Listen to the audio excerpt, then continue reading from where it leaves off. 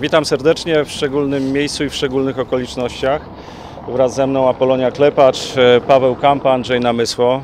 Stoimy w miejscu szczególnym dla historii miasta Opola i historii Opolszczyzny przed pomnikiem Papy Musioła, komunikując Państwu powstanie nowej inicjatywy. Inicjatywy, która ma się przeciwstawić temu, czego jesteśmy świadkami w ostatnich co najmniej dwóch tygodniach. Mowa tutaj o Krajowym Festiwalu Polskiej Piosenki w Opolu, który nie wiedzieć czemu z różnych powodów ma zostać przeniesiony albo do Kielc, albo do innych miast. E, Dzisiaj ta inicjatywa, z którą wychodzimy, jest inicjatywą otwartą, inicjatywą powołującą Obywatelski Komitet Obrony Krajowego Festiwalu Polskiej Piosenki w Opolu.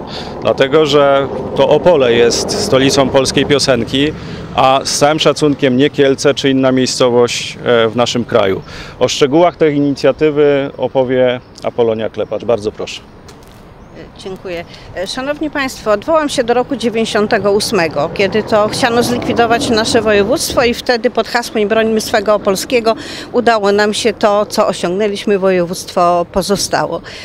E, Chcieliśmy tutaj wystąpić, czy występujemy do społeczeństwa województwa opolskiego i nie tylko, bo myślę, że nasza inicjatywa może mieć zasięg daleko szerszy, o powołanie Komitetu Obrony Festiwalu.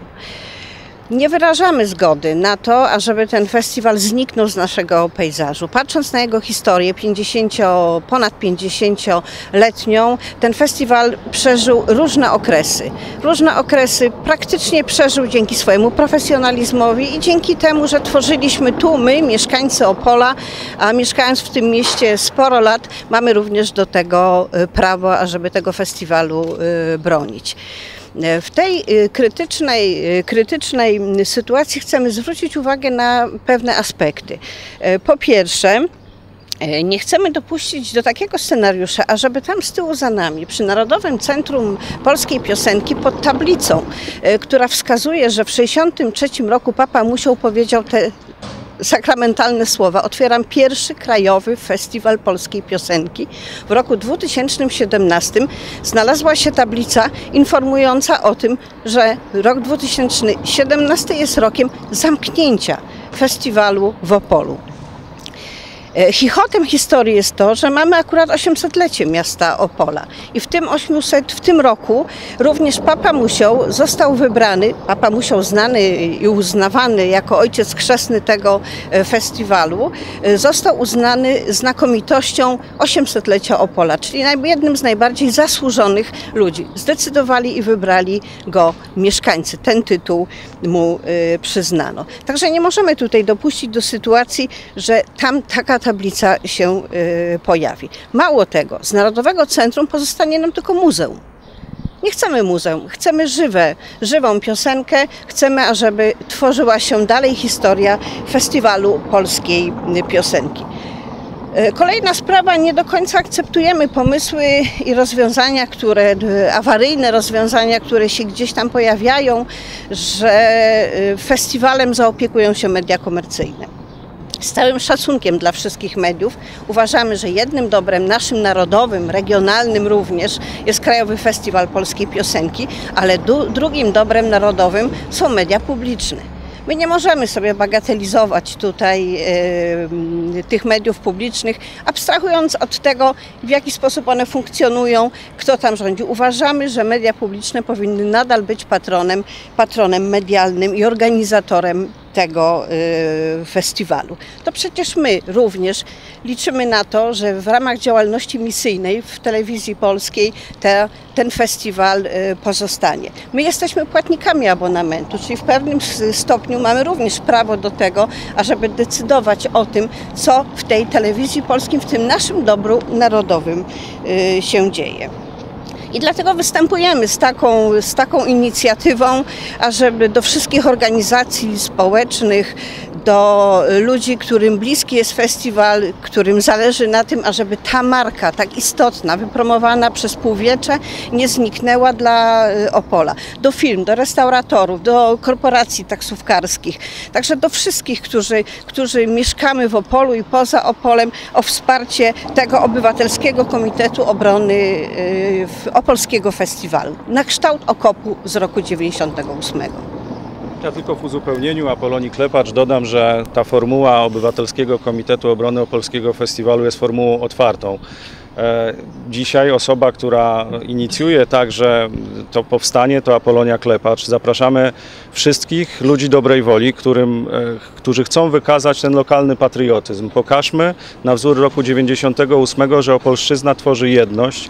Chcę też dodać, że w pełni rozumiemy decyzję pana prezydenta Arkadiusza Wiśniewskiego, który w moim przekonaniu, w naszym przekonaniu nie miał innego wyjścia, jak taka decyzja, która została przez niego podjęta, w moim przekonaniu była decyzją właściwą z punktu widzenia jakości samego wydarzenia e, muzycznego.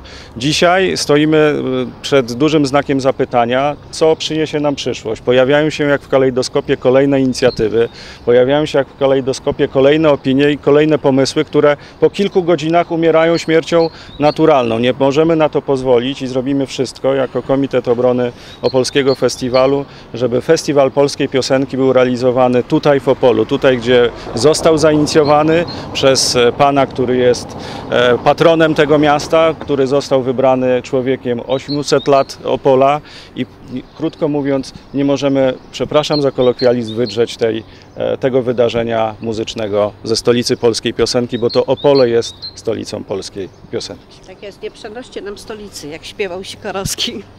A w jaki sposób osoby chcące Was wesprzeć mogą to zrobić? Zapraszamy wszystkich do e, kontaktu z Apolonią Klepacz, e, Pawłem Kampą, e, Andrzejem Namysłą. Jesteśmy wszyscy dostępni przecież to nie, dzisiaj w dobie mediów społecznościowych, w dobie telefonii komórkowej. Wszelkie inicjatywy, niezależnie od barw politycznych, od razu zaznaczam, niezależnie od barw politycznych są dla nas szczególnie cenne, bo celem nie jest zdobycie inicjatywy politycznej, tylko celem jest uchronienie, przeniesienia festiwalu polskiej piosenki z Opola do innego miejsca i to jest główny, nadrzędny cel. Zapraszamy również pana prezydenta Arkadiusza Wiśniewskiego do tej inicjatywy.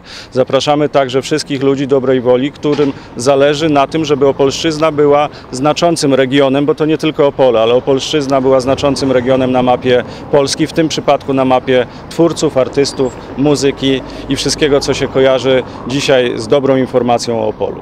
A to znaczy, chcecie Państwo stworzyć taką listę, czy chodzi o to, żeby jakieś wydarzenia i robili to w ramach e, komitetu? Zależy nam dokładnie na tym, o czym pan redaktor wspomina. Chcemy realizować także przedsięwzięcia, a być może już 9 czerwca, które, czyli dniu, kiedy miał się rozpocząć festiwal. Zapraszamy wszystkich do tego. Mamy pewien pomysł, który w najbliższych dniach będziemy Państwu chcieli przekazać, co chcemy zrealizować. E, Natomiast wszyscy ludzie, którzy zwłaszcza związani są ze sceną muzyczną, wszystkich artystów, twórców, zapraszamy do współpracy. Jak to wydarzenie e, może wyglądać 9 czerwca? Będziemy starali się to koordynować w kolejnych, w kolejnych dniach. Jest pewien zalążek pomysłu, ale dzisiaj o nim za wcześnie, żeby mówić. Czy już ktoś się zgłosił do Państwa z chęcią pomocy?